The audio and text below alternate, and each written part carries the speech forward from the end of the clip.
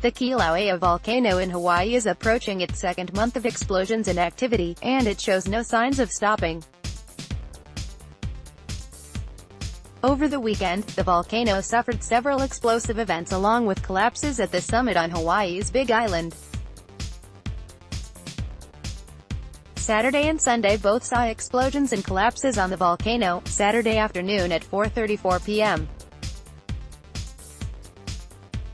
Hawaii Standard Time there was a collapse or explosion event at the summit of Kilauea. It registered a magnitude 5.3 on the Richter scale but didn't cause a tsunami, according to the Pacific Tsunami Warning Center. The explosion could have caused debris to travel hundreds of feet in the area above the summit, according to the United States Geological Survey. Just before that explosion occurred, the USGS tweeted that there was a high earthquake rate in the area around the summit that could cause rock falls and ash plumes. There was another explosion Sunday, this one at Halemaumau crater inside of the caldera at the summit of Kilauea. The explosion took place at 4.12 p.m. HST and, while nobody was in immediate danger, the Hawaii Civil Defense Agency recommended that people in the area check their gas, water and electricity connections after the quakes to ensure they were not damaged. The explosions were releasing volcanic gases and debris into the air.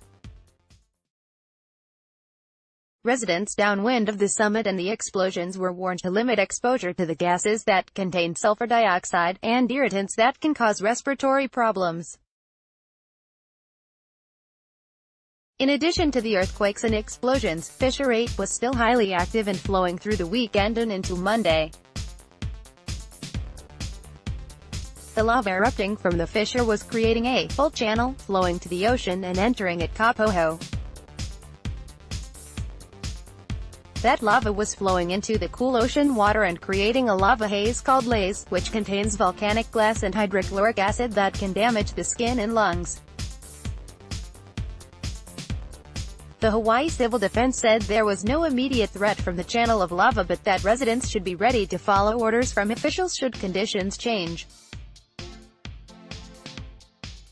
Those who have lost property to the volcano can apply for aid. There is a disaster recovery center set up at the Keaau High School where residents can apply and get help. There's also free medical, dental and eye care set up at the school.